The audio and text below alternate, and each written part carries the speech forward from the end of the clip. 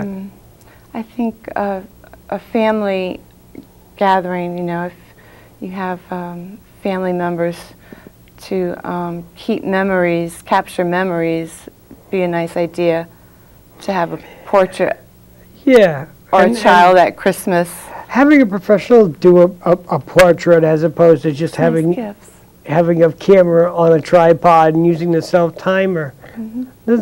It's the little nuances that people miss. Mm-hmm. You know, a pole in the background or a doorway. to- Just, I tell people when I photograph them that they're 50% of the picture. That the negative space around them is what really makes the picture. Mm-hmm. And I think the digital age, the digital age has really become a subject-oriented picture. No one seems to look at what's going on around the subject. And it's sad because if you put the two things together, then you have a work of art rather than just a Xerox memory. Yeah, so. Can I say um, Xerox? Do you have any, are you, um, in the future, are you planning on having any other exhibits at the, at Art Space? There I'm not positive. There's a couple things rolling around in my mind, but I really have to finish the interview with uh, the British publication, which I think is Somo Magazine. Mhm. I can, re- you know, I, I never forget a face Mm-hmm. or, or what somebody's voice sounds like, but I'm really bad with names. So uh, how often do you go out um, and take pictures? Uh, You're known for going around Norwich and taking pictures of Everything. whatever, yeah, everything. Yeah. Um, Unfortunately, lately it's been with the uh, state of the economy uh, and all, and the change from film to digital. I'm actually shooting digital now, which some of my friends needed oxygen when they heard that. Um, you have to spend so much more time promoting Mhm. to find mm-hmm. work because everybody's got a camera. And the mm-hmm. jury shows that I entered a show in at a gallery in Denver called Camera Obscura.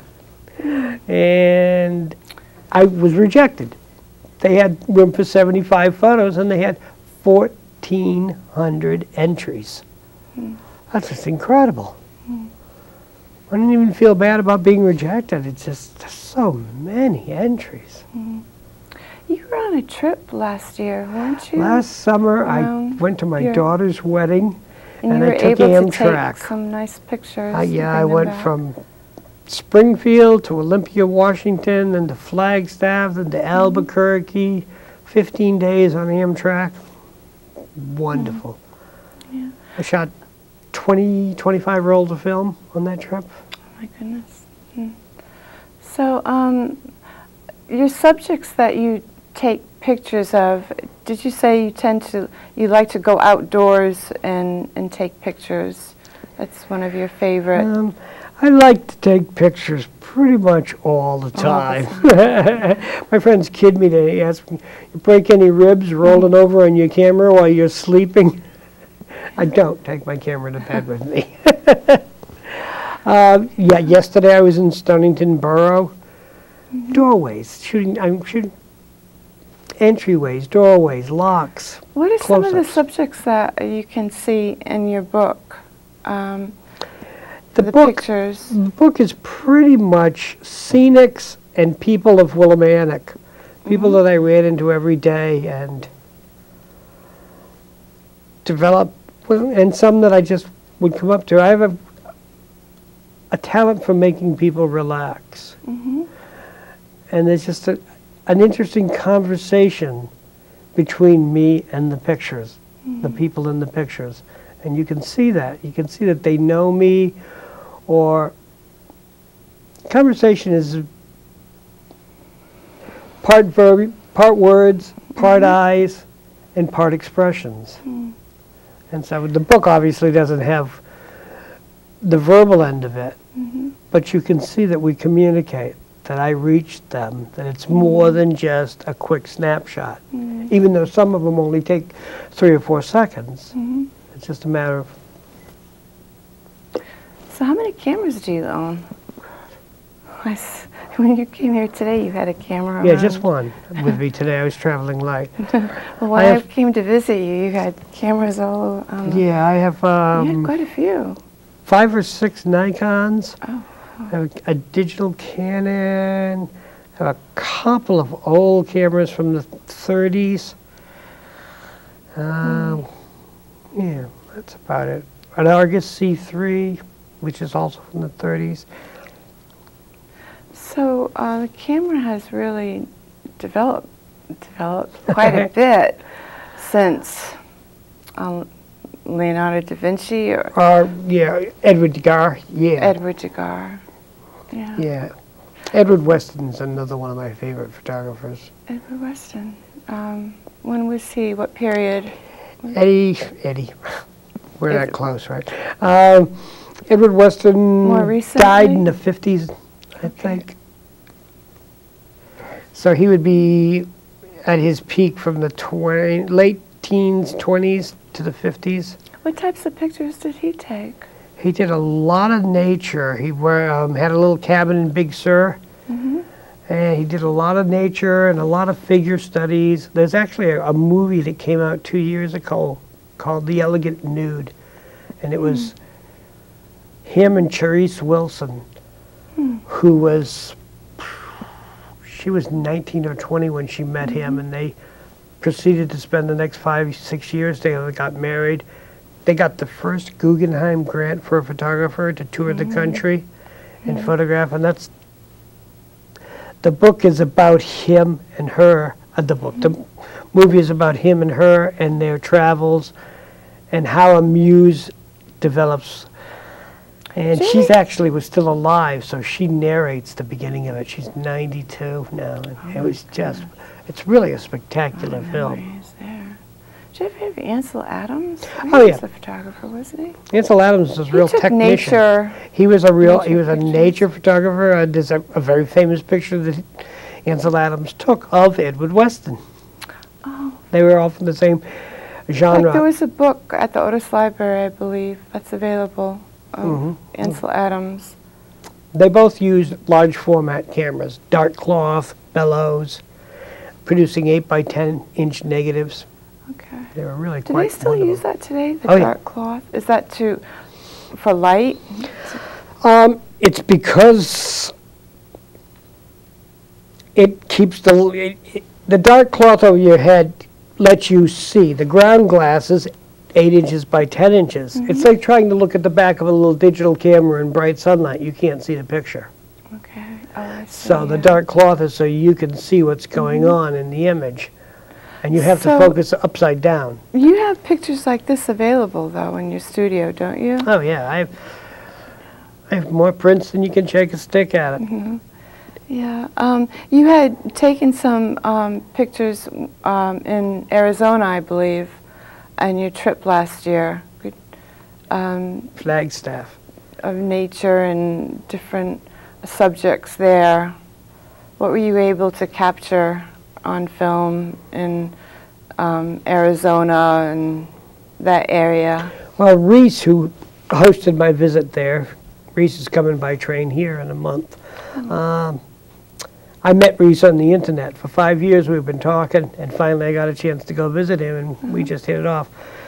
For, we worked with a model in Sedona in Oak Creek Canyon for the early part of the day, and then when it got to the be scenery much different than here? ah, much different. Yeah. We worked right in the water, right in the river. Oh, And then we went back up to Flagstaff for dinner and wandering the streets, and it was pretty much the same type of stuff I do in uh, Norwich.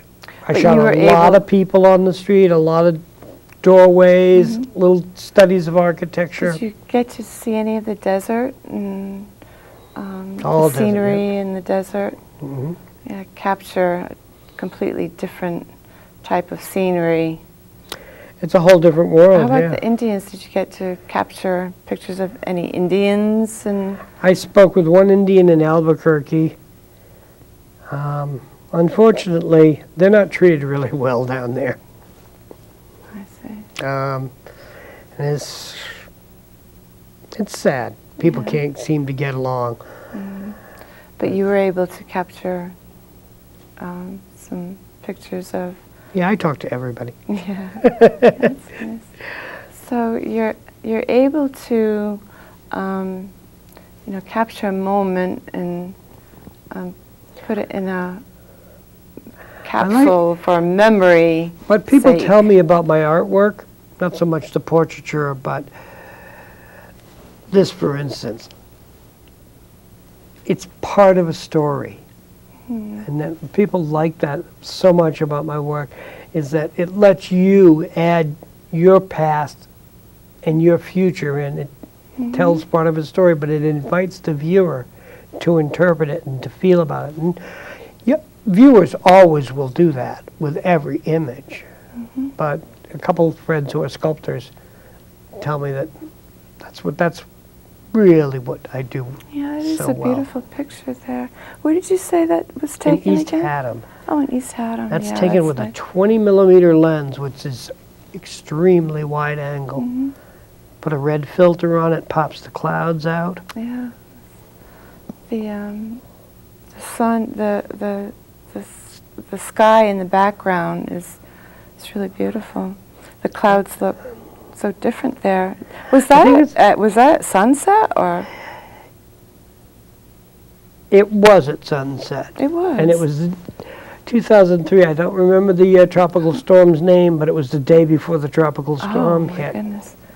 And it was quite fun being out in the uh, woods for a tropical storm. Well, Peter, I want to thank you so much for being my guest on my show today. And um, I wish you much success in the future with your photography. Thank you. It was, it was very good. If people pop by my website, they can find out where I- I'm I showing. ho- yes, if you'd like to um, contact um, Peter, he has a website,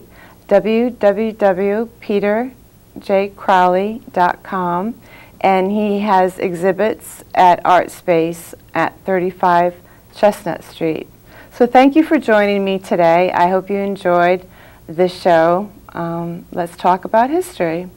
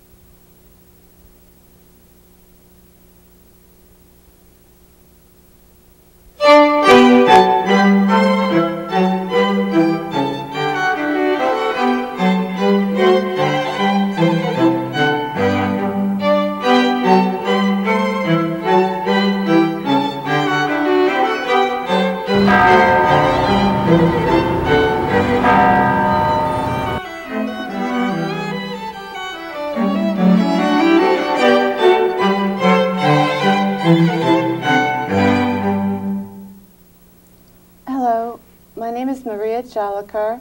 Welcome to Let's Talk About History. Um, we are, I am a member of the Daughters of the American Revolution of 1776, located at 42 Rockwell Street in Norwich. We are a women's organization who promote education and patriotism. Um, women who are 18 years of age and older who have an ancestor that served or assisted in the Revolutionary War of 1776 are eligible for membership. I would like to introduce my guest on my show, Let's Talk About History, Art Lathrop. Welcome, Art. Thank you, Maria. Um, Art was mayor of Norwich from 2001 to year 2005. Um, he is um, influential in the preservation of the Norwich history um, with his um, uh, help in uh, getting Norwich Wauregan renovated